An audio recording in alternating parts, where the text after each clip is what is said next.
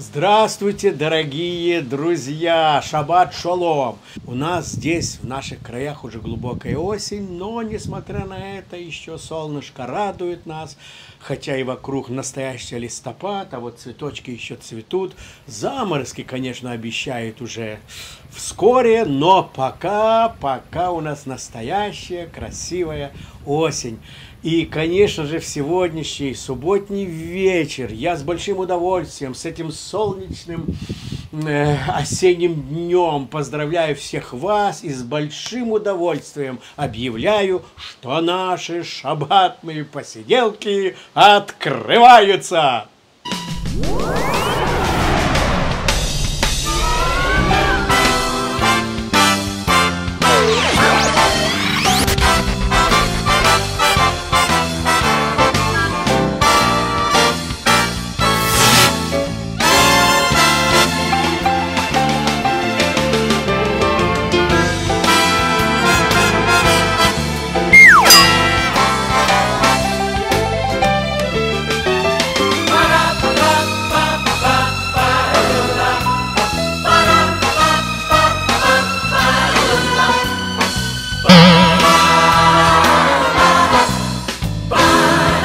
Сегодня, дорогие друзья, в наших субботних посиделках хочу э, представить вашему вниманию один номер из нашей программы, который я люблю особенно, в котором я э, физически не принимаю участие. Сегодня я хочу несколько слов сказать о коллективе, который все эти годы, практически с начала нашего проекта, работают вместе со мной в программе песни еврейского местечка. Это замечательный, известный танцевальный коллектив «Русские сезоны».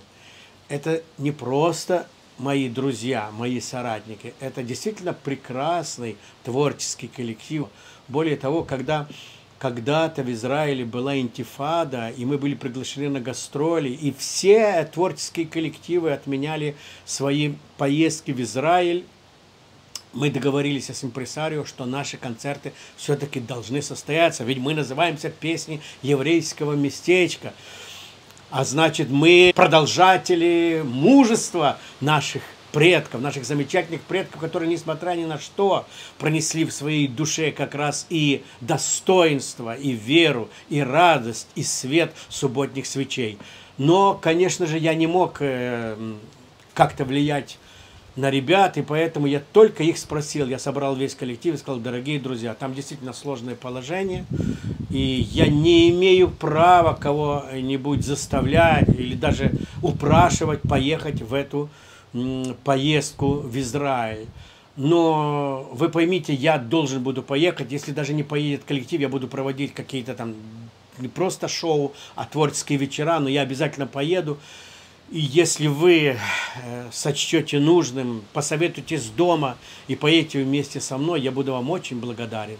И действительно, все буквально сто процентов, никто не отказался, и мы всем коллективом приехали в Израиль тогда. Конечно, когда нас провожали в аэропорту, там были родители, мужья, жены наших артистов балета, которые обращались ко мне, Ефим, вы уж будьте внимательны, посмотрите как-то. Я говорил, что все, что будет необходимо, мы предпримем, все будет хорошо. И действительно, когда мы приехали в пустой аэропорт в Израиле и потом э, приехали в гостиницу, где нас обычно, когда большие коллективы приезжают, встречались с подносом, там стояли рюмочки с каким-то напитком или шампанским или каким-то вином. В этот раз нас встретили с большой коробкой противогазов и большой книгой, где каждый из нас расписался в получении этого самого противогаза, но самое главное, именно в Натании когда наши ребята, молодые девочки и мальчики шли по центральной улице, буквально пройдя там квартал, вдруг услышали страшный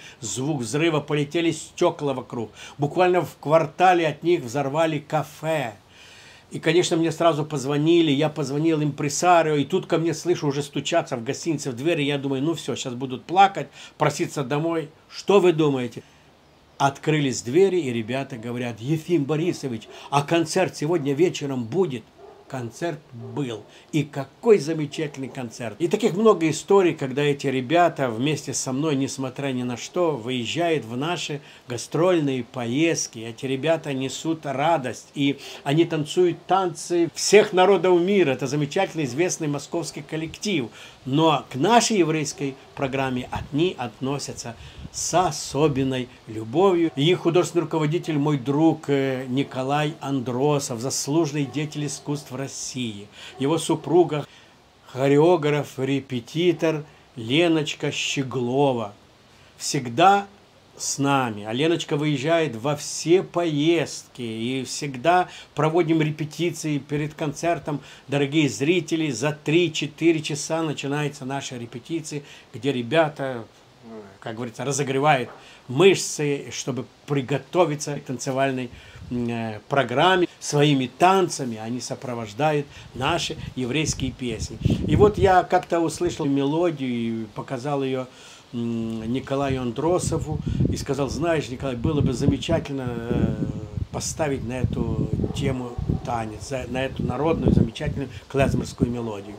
Но оказалось, это не старинная мелодия, а ее написал композитор из Израиля Юрий Поволоцкий, замечательный композитор, которому подвластны все жанры, от оперы, мюзикла, э, симфонической музыки до клезмерского оркестра, клезмерского понимания музыки. И вот то, что вы сейчас будете видеть, танец, который называется балагулы, это как раз на музыку замечательного композитора Юрия Поволоцкого. Так, в этот субботний вечер для вас хореографическая композиция «Балагулы», постановщик-хореограф Николай Андросов, музыка композитора Юрия Поволоцкого.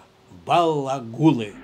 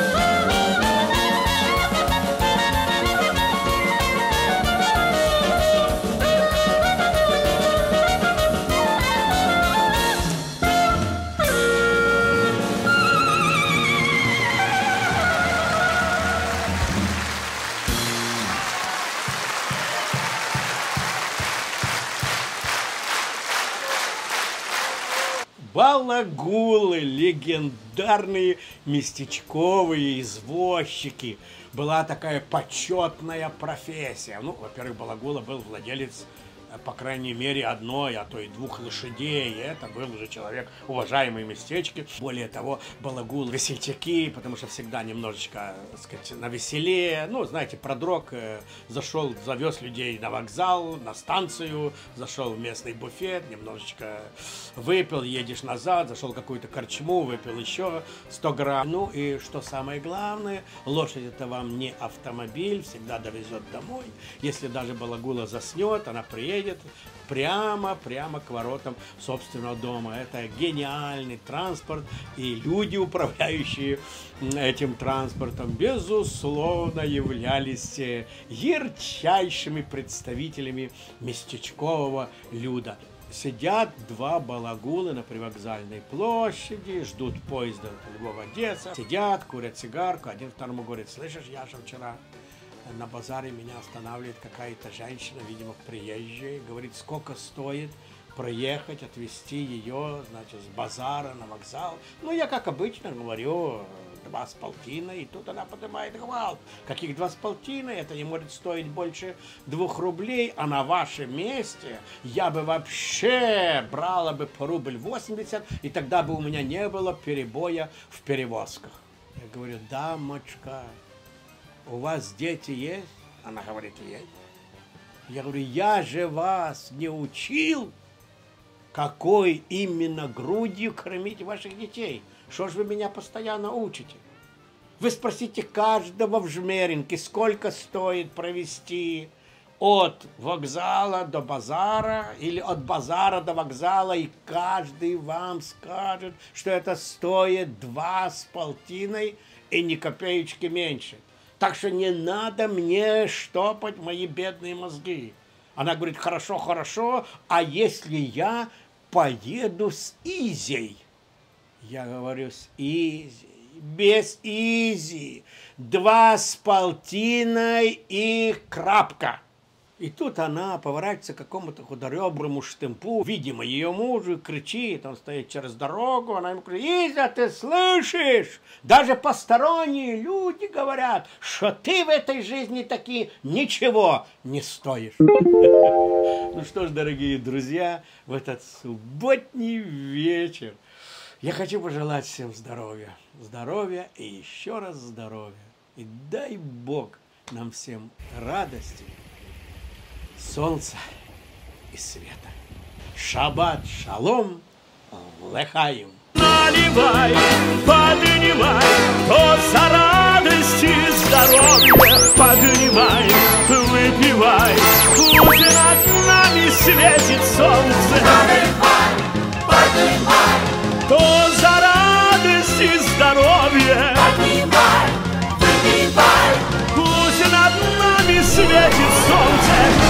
стучат колеса И нет у нас вопросов Когда 7.40 мы танцуем и поем. Наш поезд в нотку тон надежды позовет. В 7.40 собираемся В 7.40 отправляемся Пусть к счастью поезд жизни нас везет.